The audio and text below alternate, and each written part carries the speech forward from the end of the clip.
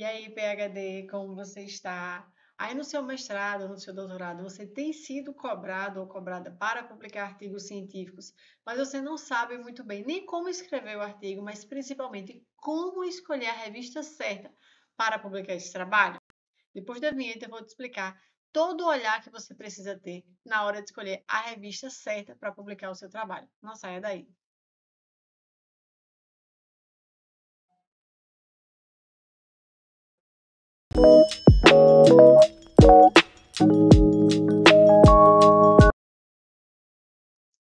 Então, bora lá, né? O que, a gente vai ver basicamente neste vídeo? O que é uma revista científica, o que levar em consideração na hora de escolher uma revista científica e como escolher a revista certa para que você consiga publicar o seu artigo. Então, o que, que é uma revista científica? Né? Também chamados de periódicos científicos, as revistas científicas vão publicar artigos de divulgação científica para um público específico. Então, não são as pessoas em geral que vão ler os trabalhos, são pessoas que se interessam em pesquisas científicas, normalmente pessoas que estão dentro do meio científico, né? Ou pessoas que são curiosas, né? Jornalistas e que vão buscar esse tipo de informação, tá?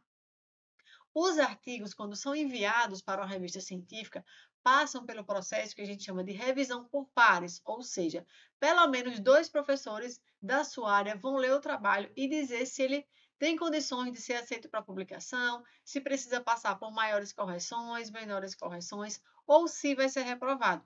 Pode acontecer de o editor, porque o processo é o seguinte: você manda o trabalho, ele vai chegar lá para o editor, o editor vai ler. Se ele se interessar pelo tema, ele vai passar para os professores avaliarem. Senão, o editor mesmo já pode rejeitar esse trabalho. Então, basicamente, é esse o trâmite que vai acontecer. E o mais importante é que esse processo acontece para assegurar a qualidade das informações que vão ser publicadas e garantir que aquelas informações vão contribuir para a área de pesquisa em questão, tá?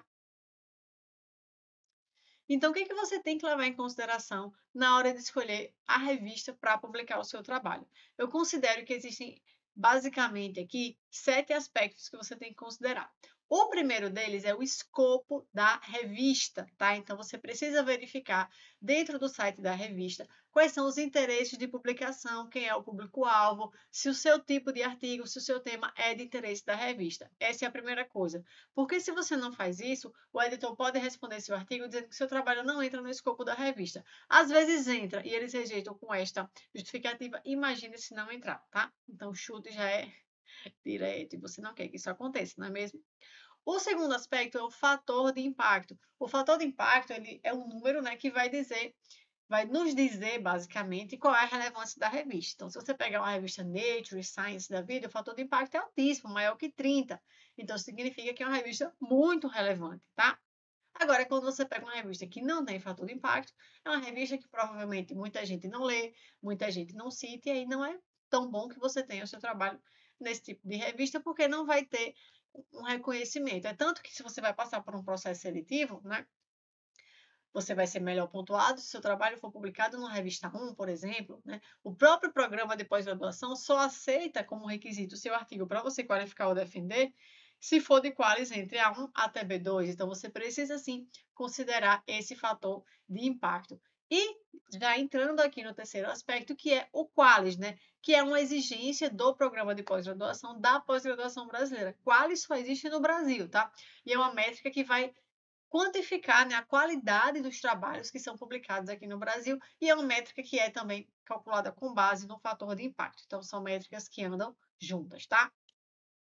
O quarto fator que eu sempre gosto de observar é a indexação, porque pode acontecer da revista que você queira publicar ter um baixo fator de impacto ou ainda não ter fator de impacto, mas se ela já é indexada, por exemplo, em bases reconhecidas como PubMed na área da saúde, como Web of Science, que é uma base multidisciplinar, significa que o seu trabalho ele tem chance de ser encontrado e de ser lido e citado por outras pesquisas, tá? E, consequentemente, essa revista tem alta chance de aumentar o fator de impacto. Isso aconteceu com um dos artigos do meu doutorado, tá?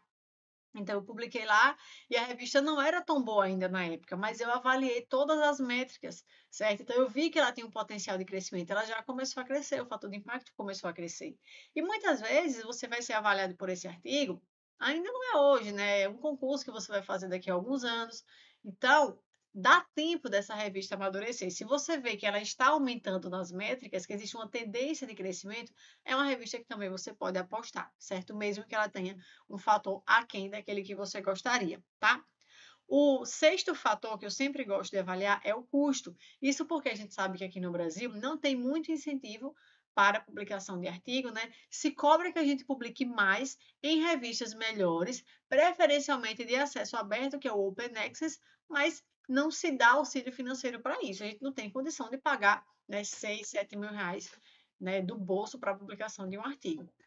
Então, mais recentemente, o governo brasileiro começou a aderir a esse programa de Open Science, né, de, de Open Access, e vai começar a estimular isso, né? E eu espero que esse estímulo seja prevendo nos projetos um recurso para que os alunos consigam pagar suas taxas de publicação. Mas isso né, é ainda é uma expectativa. Então, eu sempre gosto de considerar o custo, tá? E um artifício que eu uso hoje é submeter os artigos na opção subscription, tá? Onde o, quem vai ler não vai conseguir baixar o artigo gratuitamente, mas vai conseguir fazer isso via periódicos CAPES. E o autor não vai pagar. Agora, quando o governo brasileiro né, começar a investir maciçamente para a gente pagar as taxas de publicação, aí beleza. Aí a gente publica Open Access, tá?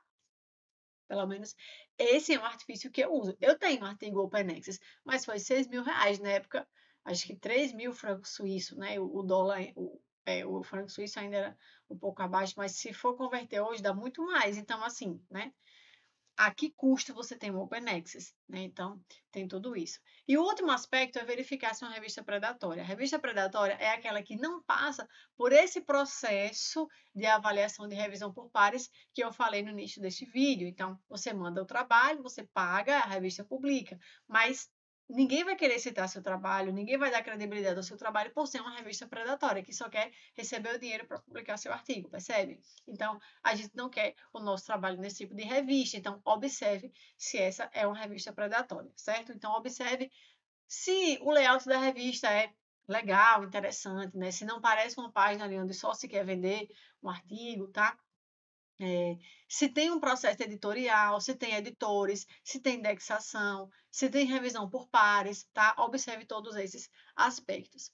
Uma coisa que eu sempre gosto de fazer quando eu vou escolher uma revista é ter um plano A, B e um C. Normalmente, no meu plano A, eu escolho uma revista de maior fator de impacto, certo? E aí, no plano B, uma de fator intermediário e de C, uma mais baixa. Porque se a revista A não aceitar, a B pode aceitar ou a C pode aceitar. E assim você já tem um direcionamento. Porque é muito chato quando a revista nega o trabalho e você fica, Deus dará, meu Deus, o que, é que eu vou fazer agora, né? Então, é importante ter isso. Para muitas áreas, faz sentido publicar em revistas internacionais, então, a área de desenvolvimento de produtos, por exemplo. Já se o seu trabalho é, é, é uma pesquisa né, que foi feita mais de cunho local, nacional, vale a pena publicar em revistas nacionais. Então, vai muito depender da temática do trabalho, tá?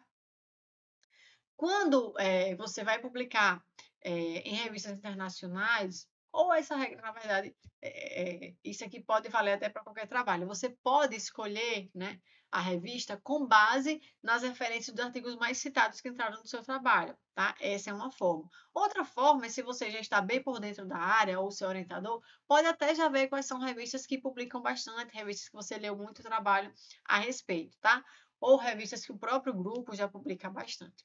Ainda para revistas internacionais, é, você pode usar o recurso chamado Journal Finder, buscador de artigos. E aí você coloca o título e o resumo do trabalho, ele vai sugerir revistas, né, com base no fator de impacto, se tem taxa de publicação, se não tem, e aí ele vai dar uma sugestão com base na relevância do trabalho. Para as revistas nacionais, né, eu também gosto de pesquisar pelas referências dos artigos mais citados, pelas revistas que o grupo mais publica, eu procuro também, eu coloco o título do trabalho no Google Acadêmico e vejo revistas que publicaram artigos sobre aquele tema, né? Lá no Qualis, eu posso ir lá no, nos filtros, né? Eu posso colocar, por exemplo, a área, né, e ver qual é a lista de revistas que tem um qualis do meu interesse, que podem publicar aquele assunto, aí eu acho ali algumas opções, entro lá, vejo o escopo, vejo o interesse da revista, enfim, se faz sentido ou não publicar nessa revista. Então, esses são artifícios que eu gosto de usar, né? Assim como também jogar o título lá no Google e ver as revistas que já publicaram, né? Mas essa eu já falei. Outro artifício mais recente é o ChatGPT. Se você colocar lá o título do trabalho, né? E pode até colocar o resumo também.